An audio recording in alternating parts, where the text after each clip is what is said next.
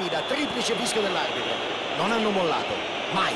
Hanno messo in campo determinazione, voglia e alla fine la vittoria è giustamente conquistata quando fai così. Una gara dai risvolti drammatici, decisa solo nel recupero. Hanno trovato le risorse per vincere quando la gara sembrava avviata ormai al pareggio. Bisogna dare atto al loro coraggio. Adesso possono festeggiare. Solo pochi secondi ancora di collegamento.